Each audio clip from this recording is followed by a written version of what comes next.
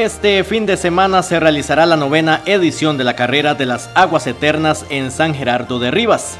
Un año más de una carrera en la que esperan entre 300 y 400 atletas. Un verdadero gusto para la comunidad de San Gerardo de Rivas y en el caso de la Asociación de Arrieros del Chirripó, que es la organizadora en esta ocasión de la novena edición ya del reto de las aguas eternas, una competencia que a nivel nacional pues se ha venido consolidando y dando grandes pasos en lo que es eh, la cantidad de personas que nos acompañan eh, edición a edición, ¿verdad? En, en pues, una carrera de trial, ¿verdad? No es lo mismo que una carrera pedestre, digamos, de, de carretera. Las bolsitas están totalmente prohibidas, ¿verdad? Este, sí vamos a tener la hidratación normal en los puestos con lo que son los vasitos, ¿verdad? Vasitos biodegradables.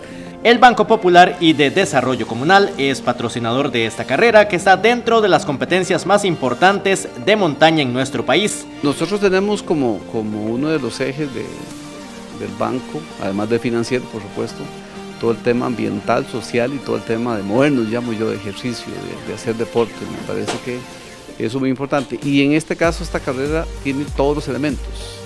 No solamente se va a hacer ejercicio, hay competencia, sino que tiene un tema ambiental, porque es diferenciada, no hay ese tema de dejar bolsitas botadas. Ahora ellos les van a contar cómo han estructurado en estos últimos tres años para que no haya esa contaminación, se cuide el medio ambiente, se siembre árboles, porque le dan un árbol a cada corredor o corredora, y por otro lado tiene un elemento socioeconómico porque los recursos que ellos generan los distribuyen obviamente en el desarrollo de las comunidades. Entonces estamos cumpliendo con todos los ejes que nos hemos planteado.